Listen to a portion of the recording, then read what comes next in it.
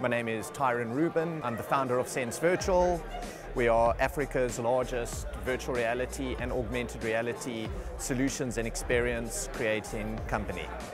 So what makes us unique is we've capitalized on South Africa's unique talent because we were the first to identify people who were exploring Unity and animation and people who were interested in exploring this new technology of 360 degree videos. So we've been able to connect the dots in South Africa to thankfully form the largest VR and AR studios.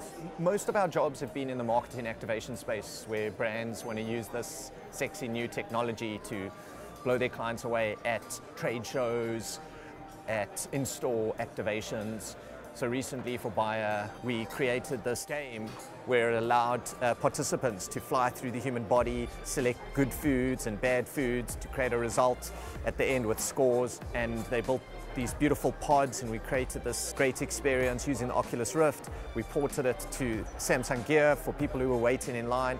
And yeah, it was um, taking quite a boring um, healthcare um, lesson and, and making it exciting.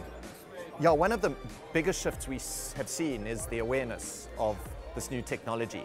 So awareness is one big trend we're seeing. We're not going into meetings trying to educate people, they already know about it. The trend we see now is people trying to figure out in South Africa how to use it to either make a cool, fun experience for their clients or a bigger trend we're seeing is mining companies and engineering companies actually in South Africa using it to get real results.